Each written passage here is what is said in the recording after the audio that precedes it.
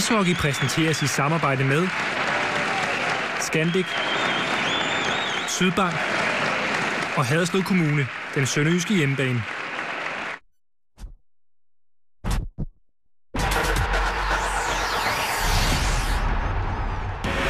Her i morgen er Danmark nu foran med 2-0, og det er de takket være dig, Morten Gren. Øh, men betydningen af det 2-0-mål, hvor står den? Men det er selvfølgelig dejligt at få 2-0. Det er også i powerplay for det i gang øh, forleden kasse, det var, det var lige efter, efter bogen, det var perfekt. Men de får alligevel øh, nogle chancer her, i, i hvert fald i midten af anden periode. Hvad siger du til jeres indsats derinde? Jo, men selvfølgelig får de nogle chancer, og det kommer også af, at vi, øh, vi tager lidt for mange udvisninger. Vi havner lidt, så bliver vi presset ned, og de får noget momentum i kampen, og så bliver vi en lille smule naive også efter vores 2-0. Vi støder lidt for mange gange, og de får lov til at spille op igennem vores midte, så... Øh, jeg synes, vi skal holde os for udvisningsboksen, og så ser det nok fint ud. Ja, for mange udvisninger, det siger og det har vi synes også været lidt inde på, men hvordan undgår man det? kan man vel ikke bare... Er det ikke svært? Det kan man jo godt. Man skal det er jo svært i kampen sidde, ikke? Nej, det er det. Det er jo det, der er afgørende. Altså, man får nogle provokationer, man får selv nogle slag, så skal man jo lade være at bytte dem.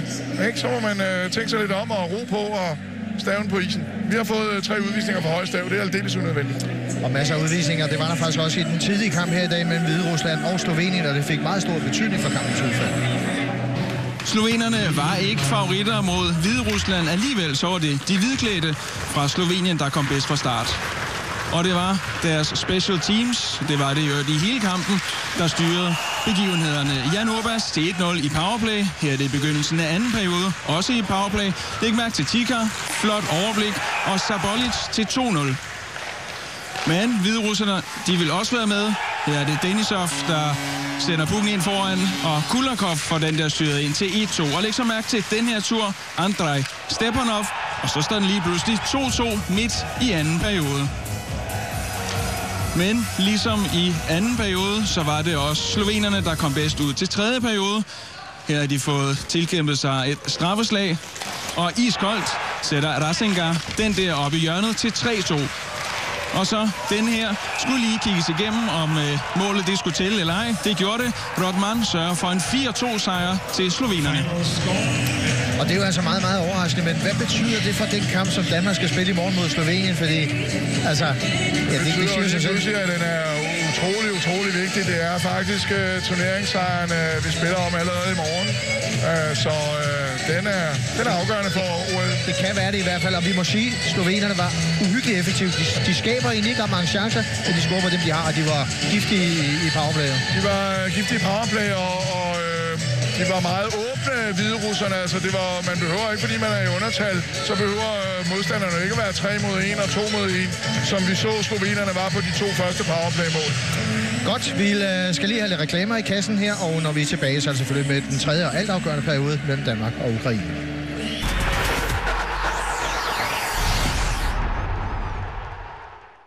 Ishockey præsenteres i samarbejde med Scandic, Sydbank og Haderslev Kommune, den sønderjyske hjemmebane.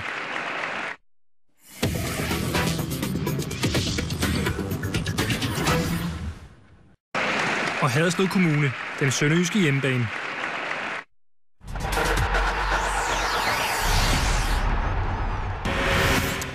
Og lige nu altså Danmark på vej mod et godt resultat i den første kamp i OL-kvalifikationsturneringen. Vi fører 2-0 efter, første, undskyld, efter anden periode mod Ukraine. Og jeg kan ikke lade være med lige også at fortælle, at det danske kvindelandshold rent faktisk også er ude og forsøge at kvalificere sig til OL. Og tidligere på dagen, der har de leveret en øh, fantastisk overraskelse. De har simpelthen slået verdensranglisten nummer 7 fra Slovakiet uh, med 2-1 i deres første kamp, Ola. Det, uh, den havde du nok ikke spillet på. den, er, den er der ikke mange, der har spillet på. Så de har altså virkelig uh, trådt et kæmpe skridt og mod måske, Sochi. Måske ja. i virkeligheden, fordi den anden kamp Norge mod Japan, der vinder japanerne med 4-3. Kan vi stille noget op der? Jeg ved, ja, det er to hold, som øh, Danmark har mulighed for at slå. Det havde man ikke på forhånd troet, at vi skulle have en chance mod Slovakiet. Vi har desværre ikke billeder, så vi kan vise de der danske øh, scoringer i opgøret mod Slovakiet. Men til gengæld, så kan vi godt lige tage Morten Grens mål til øh, 2-0, synes jeg, ikke? Og det kan vi rigtig godt, for vi får rigtig meget brug for det power overtalspil her. Vi skal ud og spille 5 minutter i overtal, og vi ser her Mads Christensen, der får sendt den over mod fjerneste stolpe. Vi ser Morten Madsen, der går på mål. Vi ser Morten Gren over på bagerste stolpe. Vi ser også Frederik Storm, den rigtige målscorer, der er inde midt for mål. Og så ser vi Morten Gren der på bagerste stolpe. Og øh, det er rigtig godt powerplay, præcis sådan som øh, Beckmann gerne vil spille det med rigtig mange folk på mål. Var på positiv side, men der er stadigvæk også noget at, at, at klandre, ikke? Ja, her skal, giver vi ukrainerne en uh, 3 mod 1 situation. Den bliver godt nok udgivet til allersidst, men, men prøv lige at se her. 3 mod 1 i første bølge. Kæmpe, kæmpe mulighed. Heldigvis godt bakspil af Mads Bøger og fremragende spil af Frederik Andersen i målet. Jeps, vi har altså en øh, flittig reporter på plads her i øh, hallen i Vojens. Han hedder Thomas Heyerdahl, og jeg ved, at øh, Thomas, du har sådan pumpet lidt informationer ud af den assisterende træner, øh, Thomas Jonsson. Det er helt rigtigt, og han siger, at de spiller faktisk okay ind til de her udvisninger, hvor de så taber rytmen.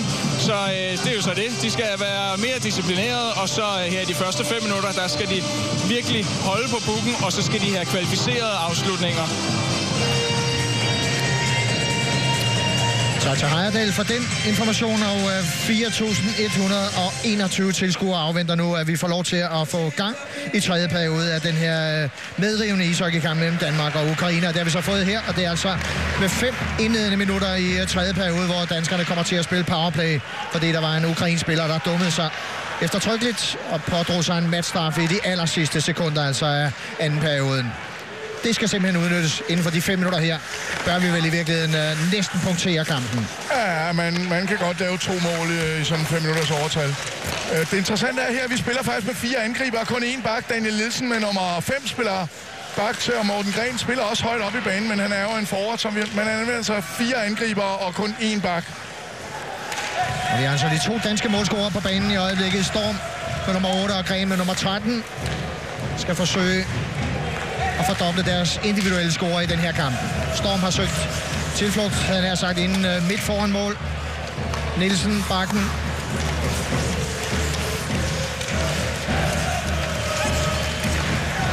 Morten Gren får den. Der kommer til... Nej, den er danser på stregen derinde. Der var det tæt på 3-0. Ja, det var rigtig tæt på. En smart detalje igen. Mads Christensen med nummer 60 med en rigtig, rigtig smart vending, og den ligger altså lige præcis på målstregen, men uh, denne gang ikke på den rigtige side.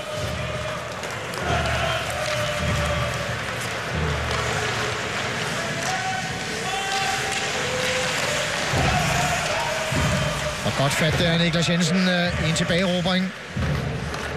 Også det her overtalsspil er med øh, fire angribere. Og med bakken, det er Jesper B. Jensen. Med nummer 40 her. Det får den Jesper Jensen, Karsten. Ja, okay. Der er to af dem. Og så er der Jesper B. Jensen med nummer Der den der. 41. 41 ja. Som tager et godt træk her. Jakobsen. Jensen. Jensen igen. Og inden midt for uh, Niklas Hart, der var søgt ind. Der mangler Jesper B. Jensen altså lige den ro til, i stedet for at skyde på den med det samme, ekspedere den videre over til den anden Jesper Jensen, for han var helt åben over i det bagerste område. Mangler lidt kølighed, synes jeg. Mads Christensen uh, masser af fart på. Ned i hjørnet.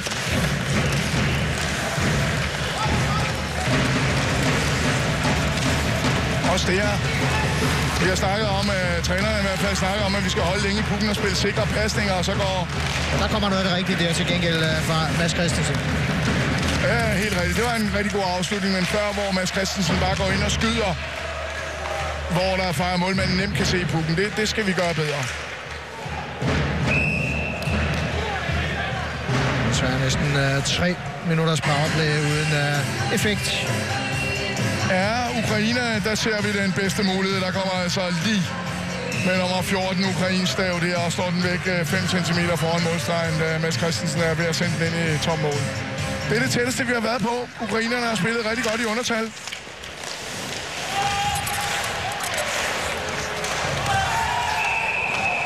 Og så får vi igen en dansk udvisning. Jesper B. Jensen for en tripping eller interference her. Og så kan du sige nok så mange gange, at man kan selvfølgelig godt styre den slags ting, men det kan man så ikke altid. Ah, her er det måske uh, sådan lige lidt uh, mere tvivlsomt. Uh, ikke dommerens udvisning er korrekt, men det er sådan, som man ofte gør nogle gange. Bliver der dømt udvisning, nogle gange bliver der ikke dømt udvisning. Da Jesper B. Jensen lige stiller sig i vejen her. Der har været masser af de situationer tidligere i kampen, hvor der ikke er fløjt udvisning. Det gør han her. Så lige præcis... Uh... Lige længe kommer Danmark og Ukraine til at spille med fire mand på isen, som øh, det fremgår af grafikken oppe i øh, toppen af din tv-skærm. Så den øh, forløsende 3-0-scoring, den fik vi i hvert fald ikke i første omgang. Til gengæld så er spændingen selvfølgelig bibeholdt her. i er arenaen i Vojens.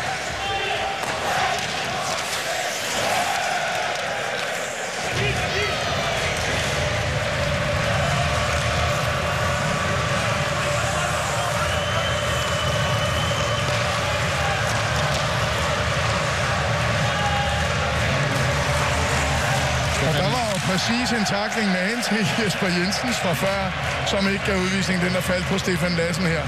som uh, tabte sin... Uh, Oj! så kommer slagsmålet det første overhovedet ved uh, Og så, turneringen her i Vojens. og så vil jeg sige sådan her, Carsten, det slagsmål skal falde. Og det skal det falde fra danskernes side, fordi ukraineren kører 100% ind i Frederik Andersen, og det er bare ikke tilladt. Det kan godt være, det kommer til at koste en dansk udvisning eller to. Der er en ny matchstraf her. Han kører albuen lige op i hovedet på Frederik Andersen. Det er ind i målfeltet. Det er ny matchstraf. Og det er den gamle historie, man beskytter selvfølgelig altid sin målmand. Uh, Der skal er falde øretæver omgående. Og det gør der også. Mads Bød gør der lige med det samme. Det er Mads Bæk også. Og sådan skal det være. Det øh, rigtig store er her, at øh, han faktisk kun tager udvisningen på øh, ukraineren. Det er faktisk rigtig godt dømt.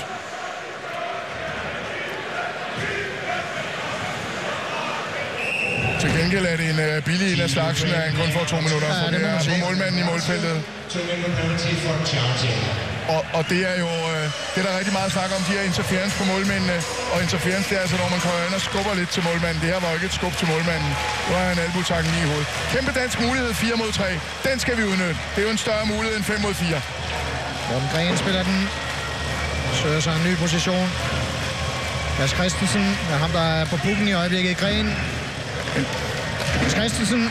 Ikke specielt præcis det, øh, det skud der. Men tempoet på pukken er for langsomt. Pukken skal gå meget, meget hurtigere. Vi skal bringe ukrainerne ud af balance. Det gør vi ikke, når vi holder så længe i den. Og der burde være mulighed for at finde huller derinde nu. Så øh, får I uh, gul og blåt.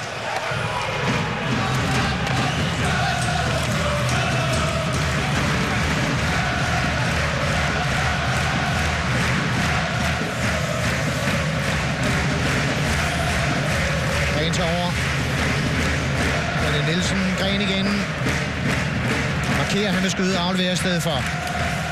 Mads Christensen og Morten Madsen, der kæmper dernede bag målet. Og der kommer der så en åbning. Godt spillet videre her. Lidt større mod kommer godt sig her fra, fra Daniel Nielsen. Han skal vel tage sit skud der, skal han ikke? Nej, jeg synes det er godt nok, han spiller passning. Den skal bare kunne falde omgående, og den skal falde på bladet. Den skal ikke øh, 10 cm op i luften, så man ikke kan spille den næste pasning. Det der, lige det afgørende moment, det er ikke godt nok.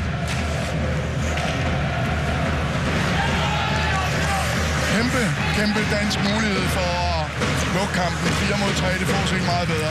Julian Jacobsen er på isen i øjeblikket. Søger ind omkring målet nu. Får den der. Den når desværre ikke lige at få kontakt med gruppen. Niklas Jensen.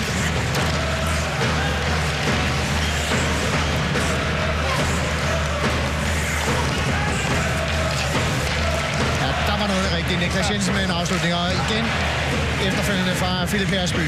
Ja, det er godt powerplay, vi får sat op her. Det skal man jo huske, vi stadigvæk 5 mod 4. Og det spiller vi godt her, men øh, uden udbytte. To rigtig gode muligheder.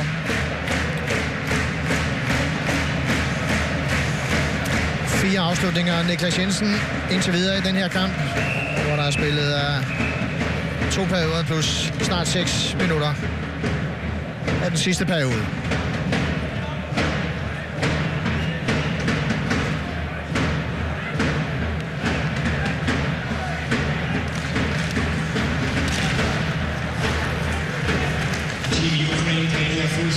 Så er de fuldstændig. Vi har ikke været gode i, uh, i powerplay her. Nej, det fik vi bestemt ikke øh, til at fungere sådan, som vi godt kunne tænke os. Dygtig ukrainsk forsvarsspil, men også for langsom omgang med pukken primært. Skal gå meget hurtigere.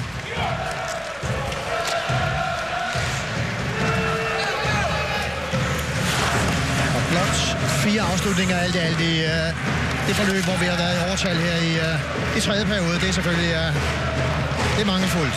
Ja. Storm, der jagter på den. Lige ved at lykkes med sit uh, forhævne her. Hvis det så havde været går takler. fire, fire førstegangsskud, så kunne man sige, så havde det været rigtig godt. Men det var det altså ikke. Så var der kun en enkelt af. Lassen takler.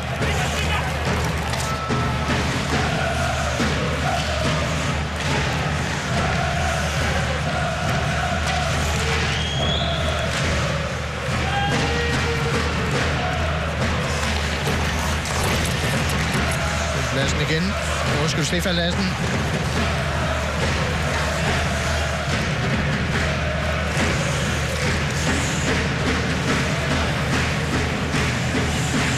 Ja, altså vores øh, fjerkæde på isen, han giver fortsat øh, fuld tillid til samtlige spillere.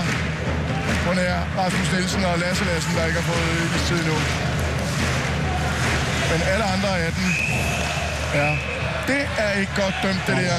For det er en øh, ukrainsk skøjte, den rammer og ryger tilbage. Og det vil danskerne jo rigtig gerne have dommeren til at lige at påtale.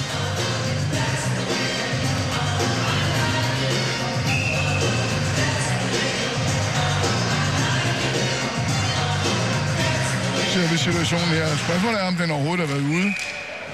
Men det er en ukrainer, der sender den tilbage.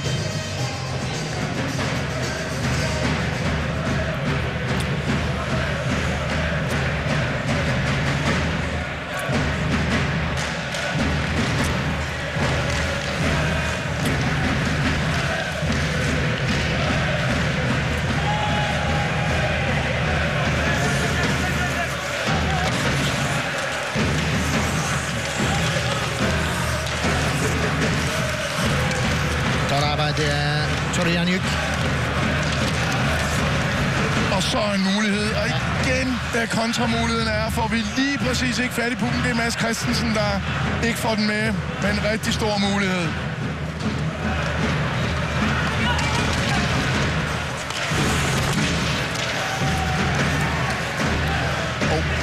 Jesper Jensen med nummer 41, der får en rigtig grim takling der og bliver ramt i hovedet. Han har altså været ude med hjernerystelse en måned op i øh, Engelholm. Han skulle øh, nødig få en ny her, så bliver der ikke mere ishockeyspil i den her sæson.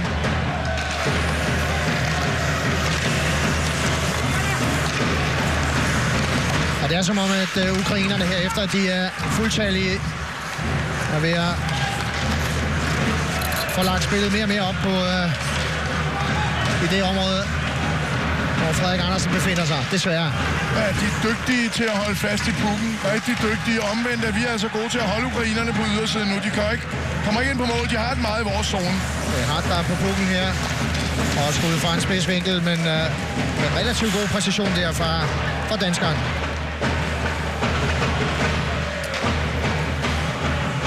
Daniel Nielsen. Stefan Lassen. Daniel Nielsen igen. Stefan Lassen og to Og så- danskere, der lige øh, kolliderer med det lige før, det fører til noget godt. Det er Bjørkstrand. Er rigtig, rigtig hurtigt op igen. Og skud fra øh, Daniel Nielsen.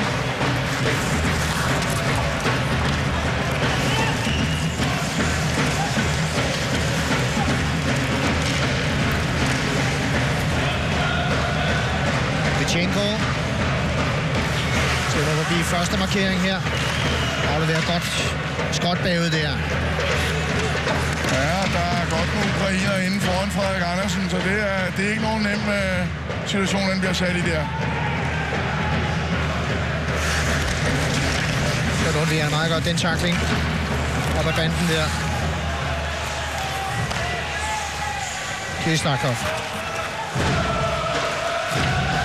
Men det er sådan lidt som om, det er de sidste krampetrækninger for ukrainerne her. De er selvfølgelig nødt til Ja, de skal satse, her. de skal satse lidt, øh, og de investerer ret mange kræfter i angrebsspillet nu. Det skulle, skulle give os nogle øh, muligheder.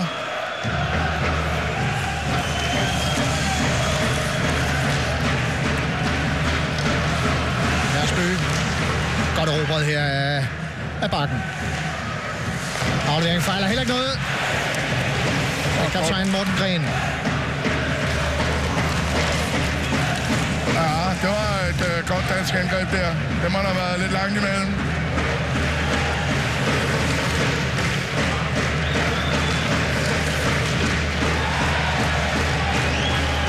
Hvad der er, der lige gav øh, Morten Gren en ordentlig tur.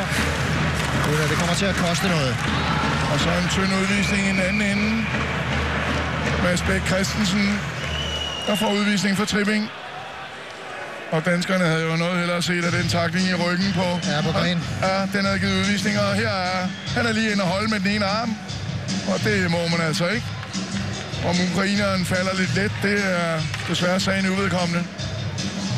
Og nyt øh, ukrainsk overtal. næsten ikke forestille sig, hvordan øh, et dansk hold vil reagere, hvis øh, ukrainerne lige pludselig skulle få øh, reduceret her. Nej, Så vil det der være masser af tid. det kan blive rigtig svært. Vi er i dag 4.100, 4.121 tilskuere, mine damer og herrer. Tak skal I have. Og nu bliver Julian Jacobsen selvfølgelig hissig. Han synes, dommeren har smidt pukken, han bare drejer rundt og skyder den ned. Heldigvis er Niklas Hart også rigtig stærk på face-off.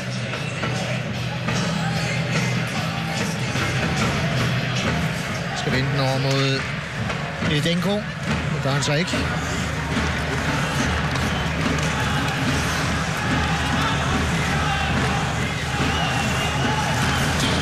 Oh, og i år ligger han. Hammerens skud vi lige så der. Og der var vi altså heldige. Den er bare ved, der kommer. Oh, den så heller ikke øh, helt ufarlig ud, den der. Han er dygtig i Og der 22. der står lige inde i skudlinjen. Rigtig svært for Andersen. Og man må bestemt sige, at marginalerne er med os i de her momenter.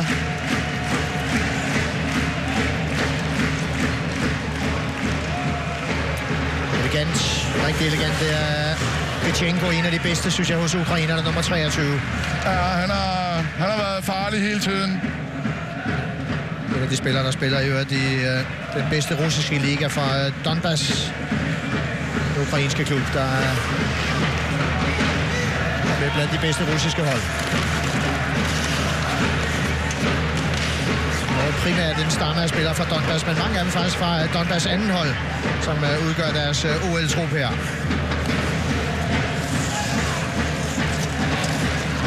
De er altså ydet overraskende god modstand, må man sige. Og det er jo det der med, med et undertippet hold, der nogle gange overgår sig selv. Det synes jeg, vi har set. Så må vi så bare håbe, det ikke har brændt alt krudtet af inden de øh, næste to kampe.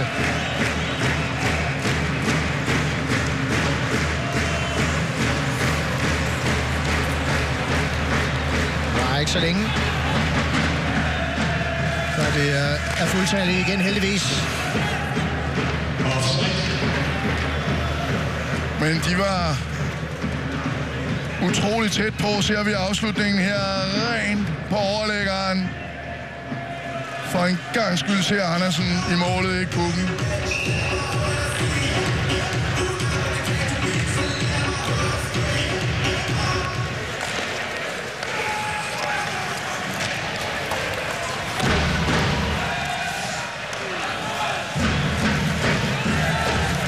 Under syv minutter, så har Danmark fået en uh, perfekt start på kvalifikationen til uh, OL.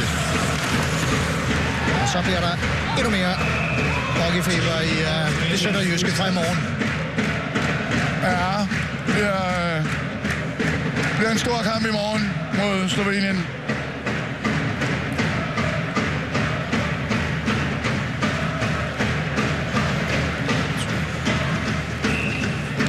Det ville være meget rart, hvis øh, vores gode tredjekæde med Jesper Jensen, Storm og Bjørkstrand kunne få flyttet pukken op i den anden ende.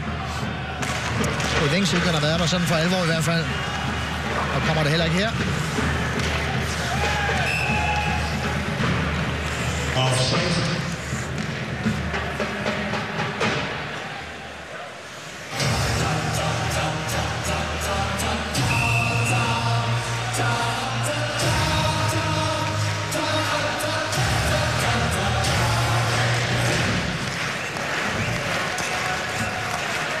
Bøtger holder ned af, af banden der. Bjørkstrand op og fortjekke.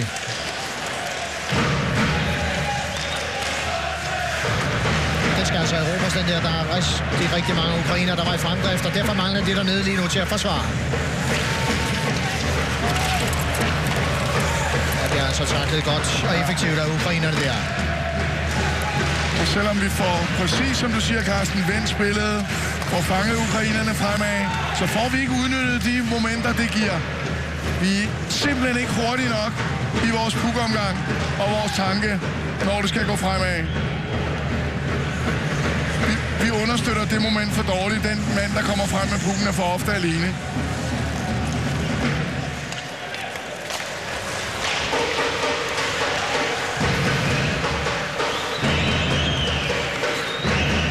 Situation her, hvor Stakov var på vej frem af banen, og alligevel så ender vi øh, nede i egen zone med den.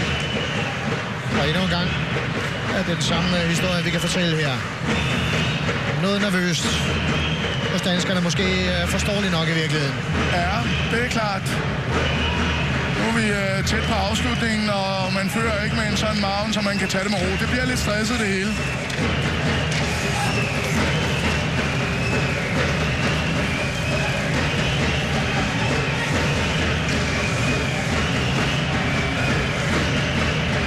Danskerne står langt tilbage på banen. Bortset fra Mads Christensen her, der står halvhøjt, så står vi altså med fire mand ude i midtzonen. Det gælder om at tage fart med ukrainerne. Få lukket kanten af, så de ikke kan komme videre. Det lykkes altså ikke her. Lykkes sig i anden omgang. Godt at se Jesper B. Jensen tilbage på isen. Han fik altså ikke nogen hjernerystelse i taklingen. Gengæld vil han gerne give en tilbage. Ja, det skulle... Han har allerede glemt, hvad der skete for lidt siden i hvert fald, så man uh, gik ind med dødsmagt der. Du mener, at det kan være, at han har fået hjernerystelse? Ja, det kan man ikke helt udelukke. Det er... Det er rimelig sejt at gå ind på den måde der igen. Men det er selvfølgelig også nødvendigt, ellers så må man blive ude. Ja, men det viser også, at han er frisk.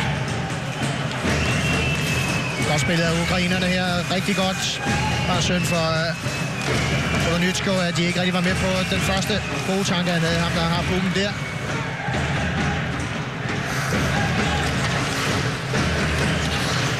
De er utrolig dygtige på pukken, ukrainerne, til at dække den og holde fast i den.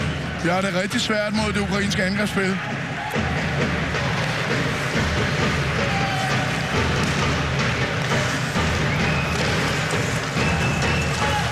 Morten Madsen med nummer 29, rigtig træt efter et langt skift.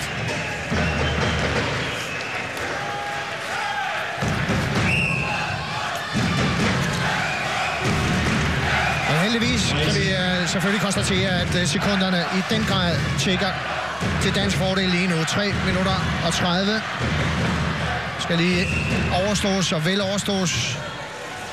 Så vil jublen selvfølgelig øh, bryde ud her i det sønderjyske. Og forhåbentlig også hjemme i stuerne. Bøtger. Niklas Hart kæmper for at få fat i pukken.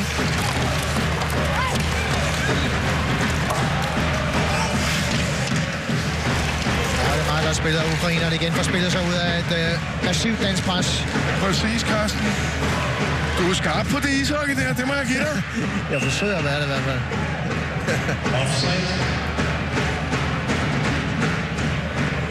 Og så mener dommerne altså, at det er en offside, kan man sige, med overlæg forsætlig offside, og så bliver den flyttet ned i øh, den ukrainske forsvarszone. En lille smule medvind for danskerne her, vil jeg sige. Hård dom. Øh, lad os se nogle gange slå på tronen for øh, stor kamp i morgen aften. Selvfølgelig 20 45 lænder vi op for opgøret mellem øh, Danmark og Slovenien her fra øh, SE Arena i Vojens.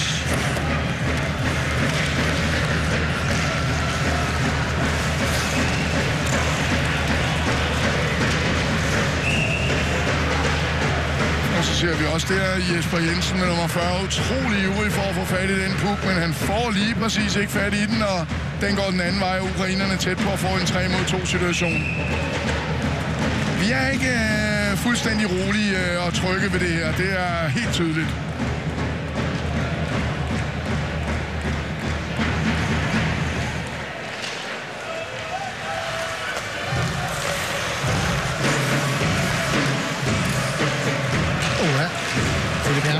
tuner lidt der, overlader pukken til uh, Lati. Og her Spyr ellers været god i dag, synes jeg, men øh, stor fejl af ham her. Ja, Generelt har vores bakker vel øh, leveret, hvad de skulle. Ja, det har de bestemt. Har de bestemt.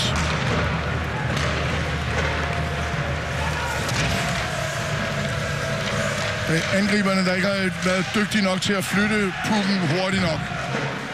Mads Christensen er ham, der er med til at skabe angrebet. Det er ikke ham, der afslutter. Det er Morten Madsen til gengæld.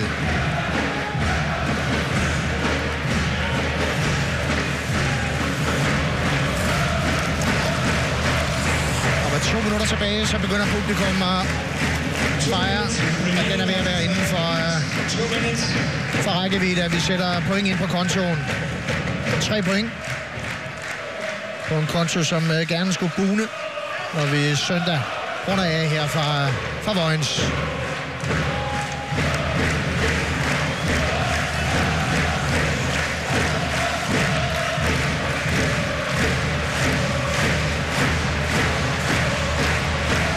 Fejl her.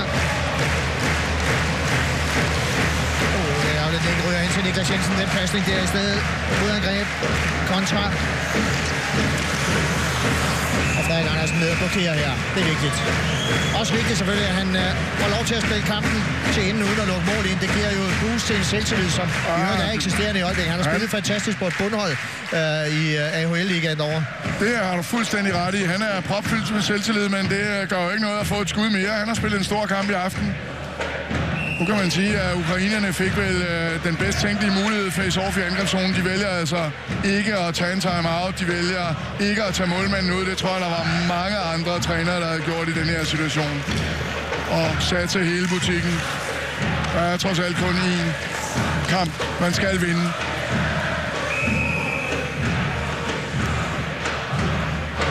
Vi har sejlet op ad åen. Det må være kongeåen, når vi er hernede.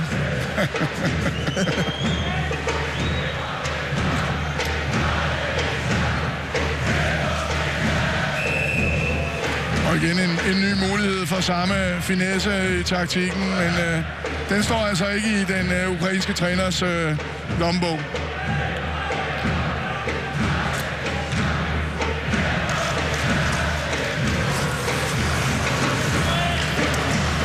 Daniel Nielsen. Morten Gren, der lige øh, får en ordentlig hilsen endnu en gang dernede. Uden at øh, øh, det i øvrigt også en ukrainsk udvisning. Mads Christensen råber.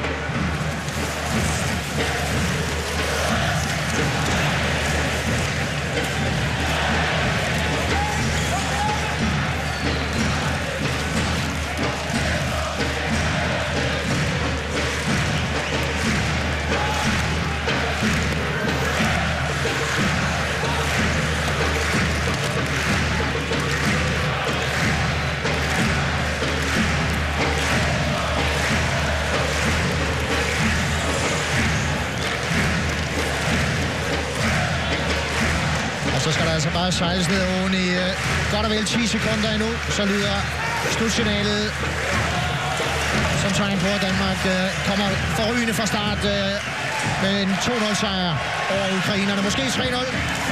Måske Niklas Jensen. Nej, han når det ikke, men øh, det bærer vi over.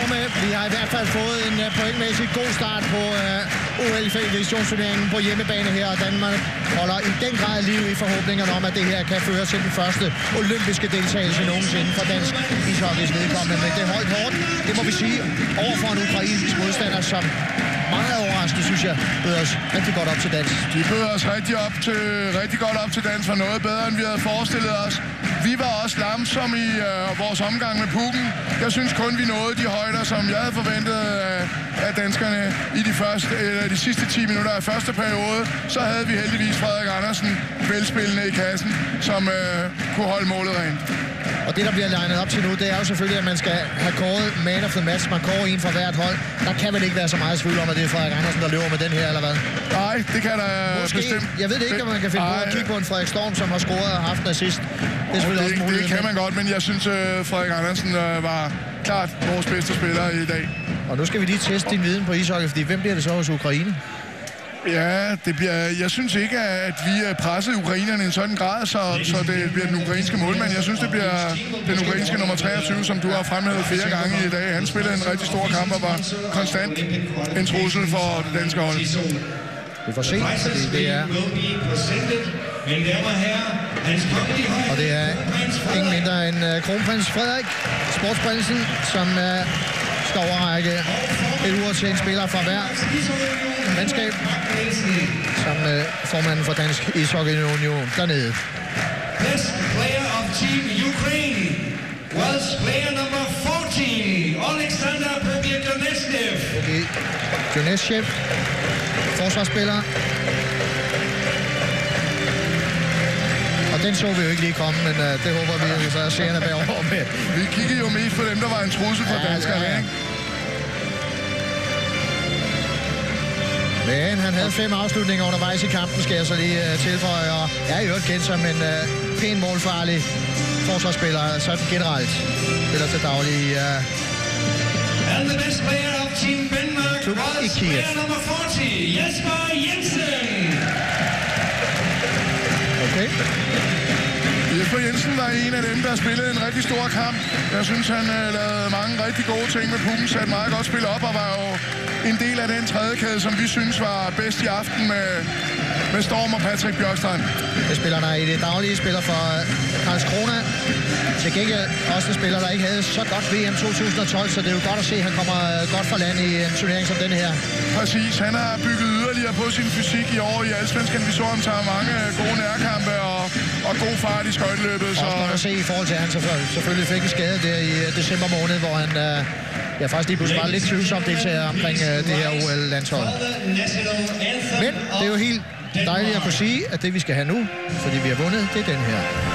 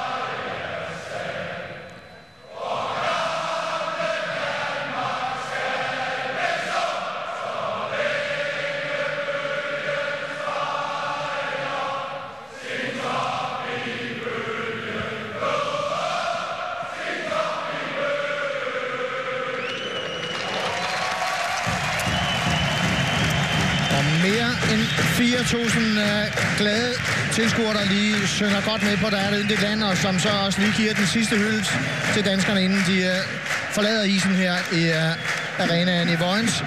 En arena, som også øh, kronprinsen er på vej ud fra. Men det betyder ikke, at vi lukker ned herfra, fordi øh, når vi er tilbage efter reklamer, så er det selvfølgelig med masser af reaktioner. Thomas Heyerdahl samler til bunker dernede, det garanterer jeg for.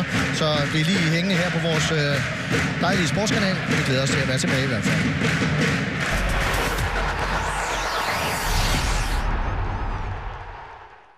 Ishockey præsenteres i samarbejde med Scandic.